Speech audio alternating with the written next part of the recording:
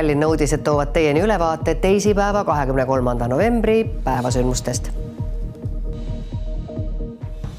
kõik pealinna koolid võivad alates järgmisest nädalast naasta kontaktõppele järgmisest nädalast võib põhimõtteliselt kontaktõpe sajaprotsendiliselt meie koolides taastuda. esmaspäeval algab kaasava eelarve ideede rahvahääletus.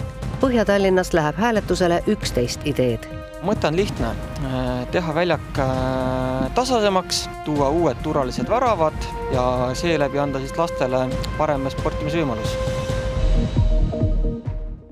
Tallinna linnajuhid ning koolide direktorid pidasid täna korralise koosoleku, kus otsustati, et koolid võivad järgmisest nädalast naasta täielikult kontaktõppele.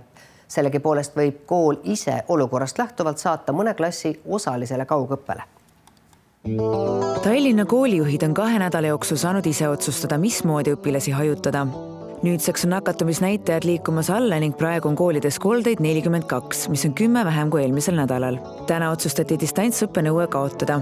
olemasolev äh, epidemioloogiline olukord nii Tallinnas tervikuna kui ka Tallinna koolides äh, lubab seda, et järgmisest nädalast äh, võib põhimõtteliselt kontakt, kontaktõpe sajaprotsendiliselt meie koolides taastuda.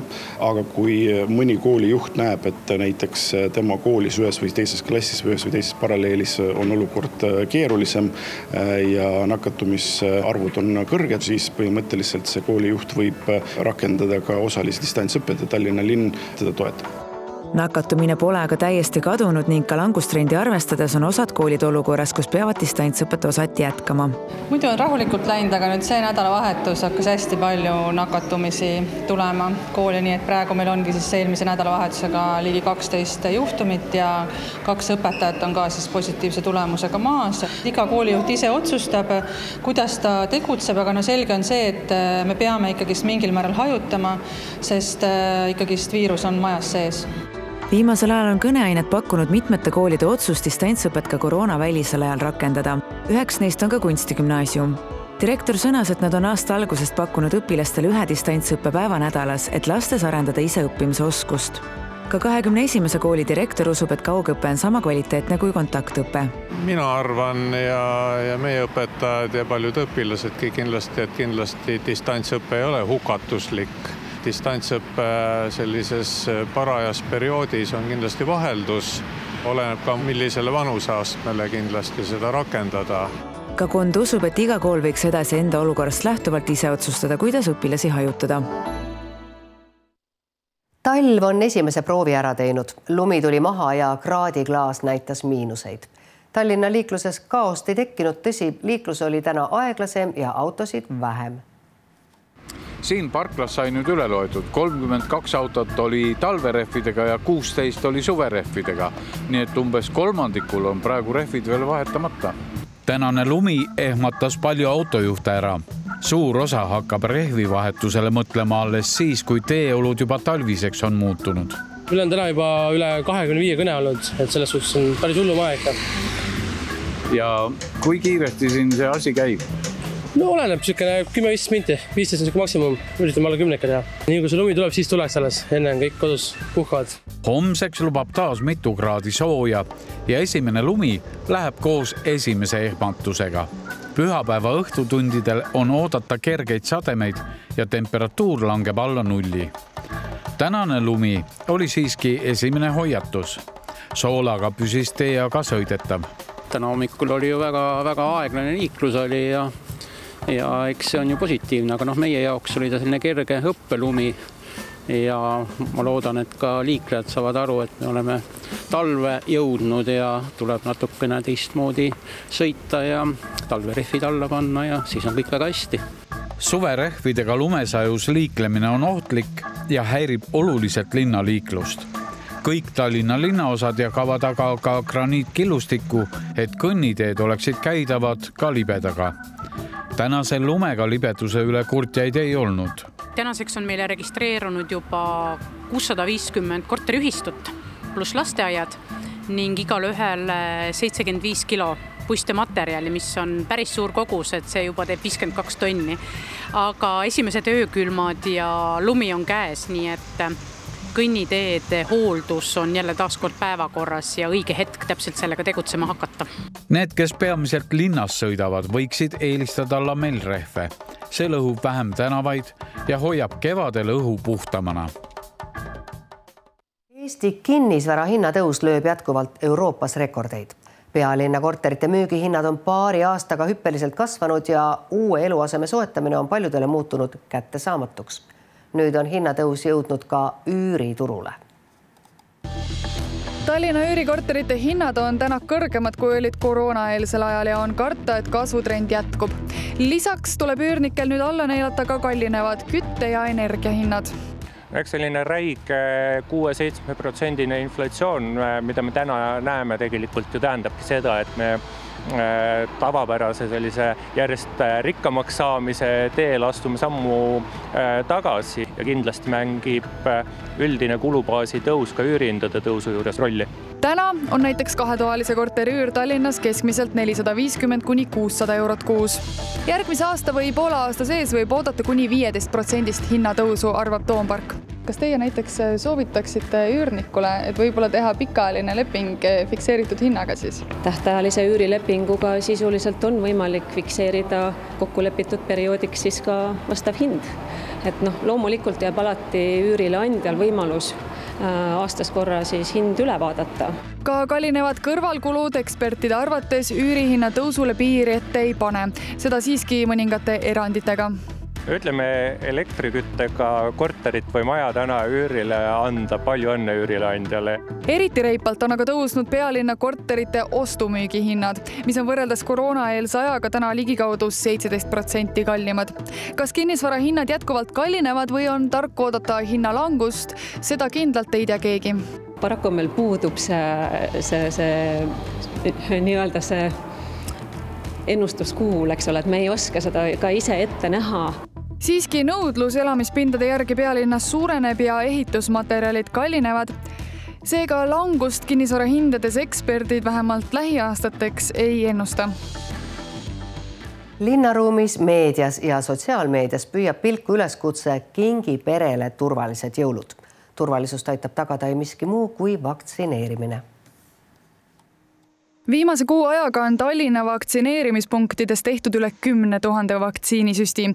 siiski ligi kolmkümmend protsenti linlastest ei ole veel ainsatki Covid vastast kaitsesüsti saanud. et tõsta elanike teadlikkust ja kutsuda neid vaktsineerima, on linn käivitanud kampaania Kingi perele turvalised jõulud jõulude ajal on hästi palju koosviibimisi, suured seltskonnad äh,, erinevad sugulased tulevad kokku, pereüritused, kus on ka eakad inimesed, kes on eriti haavatavad äh, koroonaviiruse äh, kontekstis ja äh, sellepärast me kutsumegi inimesi veel kord mõelda sellele, et ennast vaktsineerida kes tahab pühade pidustusi veeta turvaliselt lähedaste seltsis, siis nüüd ongi viimane aeg kaitsesüst kätte saada.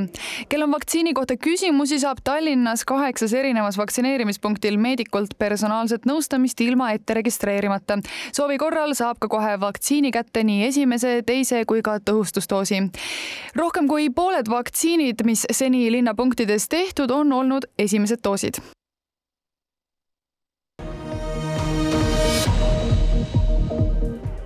Tallinna Sadama A ja D terminali vaheline jalakäijate sild saab nimeks Admirali sild. suvel avatud sillale nime leidmiseks kuulutas Tallinna Sadam koostöös Tallinna linnaga välja avaliku konkursi. nimekonkursi esimeses etapis jäid sõelale Admirali silla, Põhjasilla ja Lootuse silla nimed. teises etapis valisid linnakodanikud parimaks nimeks Admirali sild, mille Tallinna linn ka kinnitas juba teist aastat on linnarahval võimalus esitada kaasava eelarve projekti raames linnale ideid, kuidas muuta avalikku ruumi väärtuslikumaks. sel aastal on linnaosade peale kokku lõpphääletusele välja valitud sada kolmkümmend viis projekti. iga linnaosa saab aastas ellu viia ühe projekti, mis kogub hääletusel enim toetust Stroomi rannaalal asub aastaid jalgpalliväljak, mis on tänaseks kulunud ja auklik. samuti on eluohtlikud nõukaaegsed väravad. jalgpallikoondise Volta eestvedaja ja Põhja-Tallinna elanik Raimo Nõu on võtnud eesmärgiks väljak kaasava eelarve raames võimalusel korda teha siin on naturaalne muru, mis on tegelikult niisugune noh, mullasegu ja mõte on lihtne, teha väljak tasasemaks, tuua uued turvalised väravad ja seeläbi anda siis lastele parem sportimise võimalus väljak on populaarne vutitagumise koht ümberkaudsete laste ja täiskasvanute seas. Raimo leiab, et nii-öelda rahva tervise huvides võiks olla palju rohkem avalikke sportimise võimalusi, sest nõudlust on hakkasime Jotka Voltot viis aastat tagasi tegema, siis siin äh, väravatele polnud ka võrke. Ja me ütlesime, et, et äh, paneme siia võrgud.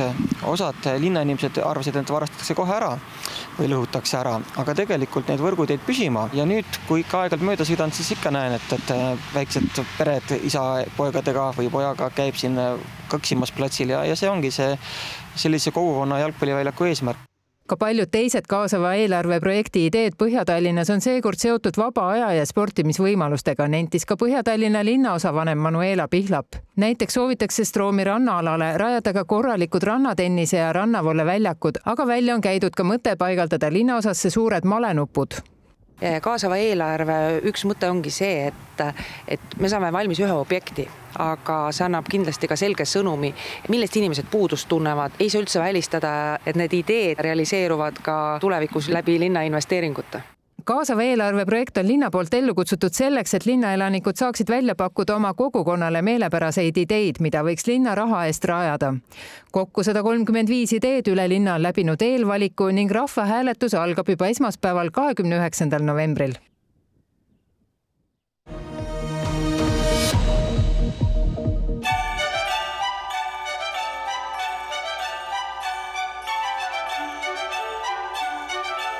Raekoja platsil käivad praegu kiired ettevalmistused jõuluturu avamiseks. jõulumajakesed on kõik oma koha leidnud ja ootavad sisustamist. jõuluturg avatakse reedel kell seitseteist ning samal ajal süttivad ka jõulupuu valguskaunistused.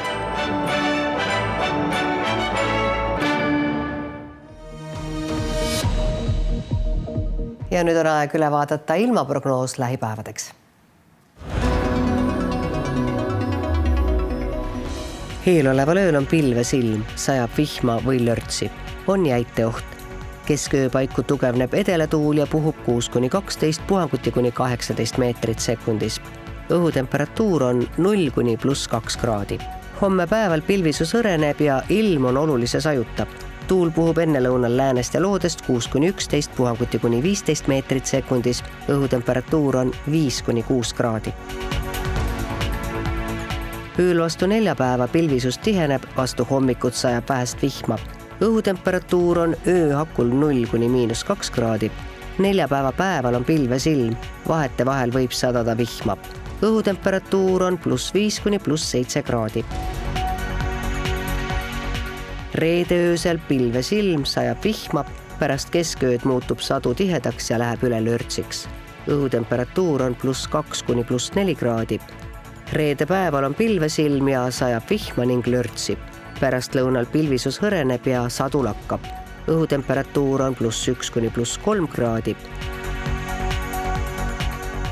Tallinna uudistest täna kõik, aitäh, et meie saadet vaatasite. pealinna uudiseid vahendame taas homme ikka algusega kell kaheksateist nelikümmend viis. ilusat õhtut